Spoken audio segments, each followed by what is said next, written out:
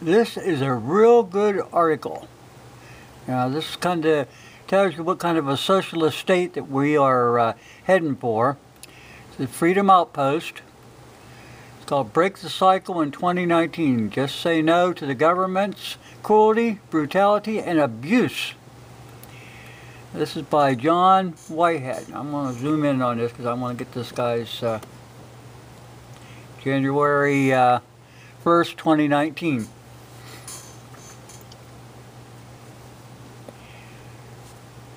I'll put the link in the bottom. You guys can go read this yourself.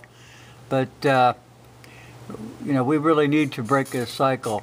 You know, uh, been heaped on us for a long, long time.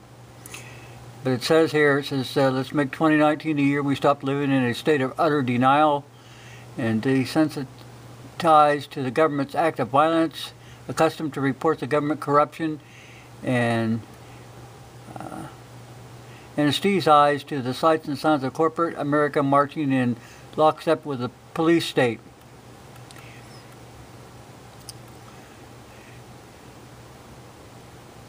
They shot unarmed citizens and their household pets. Government agents, including local police, were armed to the teeth and encouraged to act like soldiers on a battlefield. Bloated government agencies were allowed to fleece taxpayers. Government technicians spied on our emails and phone calls. And government contractors made a big killing by waging endless wars abroad. And the president's got more power.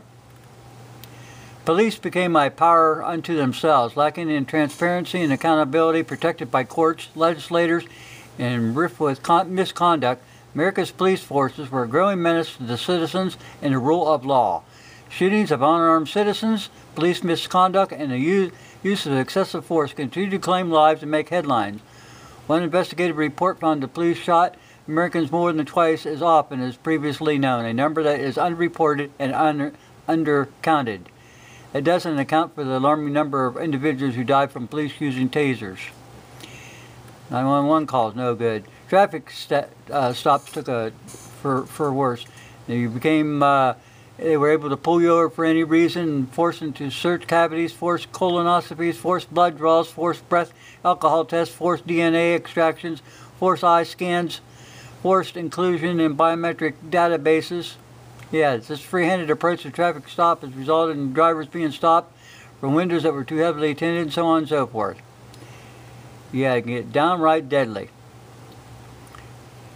And this thing, it says it can be downright deadly at a time when police can do no wrong, at least in the eyes of the courts, the police unions, and the politicians dependent on their votes. And a fear for the police off officer safety is used to justify all manners of police misconduct. And here's another thing, the courts, especially the Supreme Court. A review of critical court rulings over the past decade or so uh, revealed a starting steady trend towards pro-police state rulings by institution concerned more with establishing, with establishing order and protecting the ruling class and government agents than with upholding the rights enshrined in the Constitution.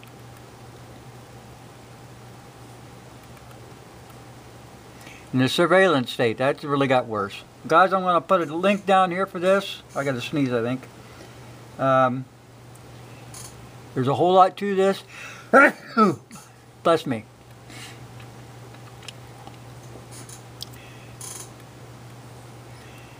Even in churches, these kids, and it got, uh, it got worse. It got worse. Then uh, the rich got richer, the poor got poor, went to jail. Uh, expanded the, the searches to uh, strip search, seize, raid, steal from and arrest Americans for any infraction, no matter how significant. The Trump administration gave courts the green light to resume their practice of dealing with individuals who are unable to pay the hefty fines imposed by American police states. Okay? In America's uh, war, they just keep going on and on. We've spent more than $20 trillion policing the globe when we should be doing this stuff at home.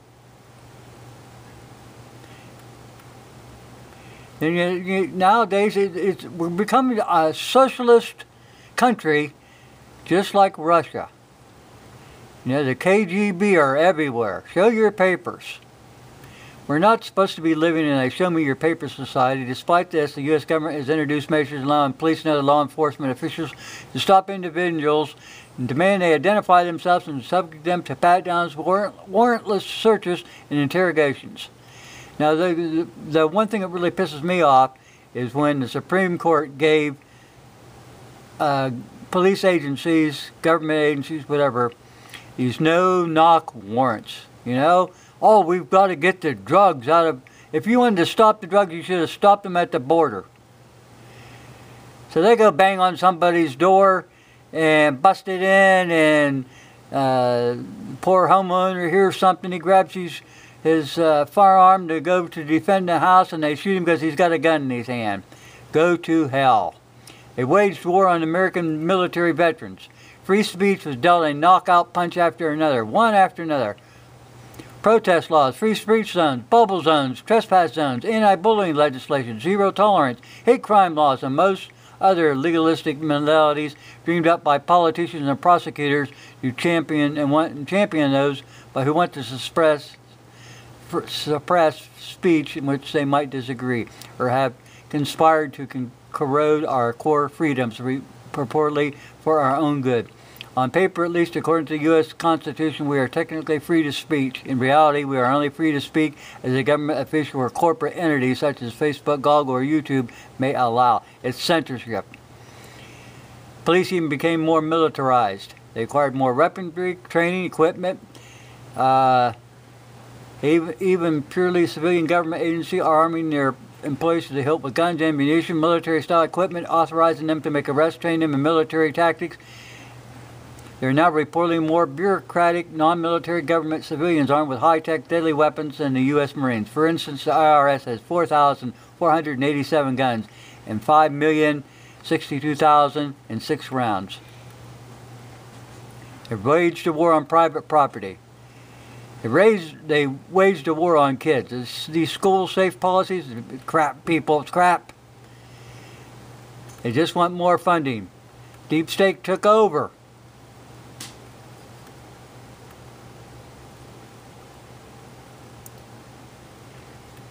Anyway, guys, I'll put a link to this and you can go watch it. And thank, thank you very much for watching. This is a very important thing. Uh, you know, we need to start putting our country back the way it was intended to be not the way the bureaucrats are taking us.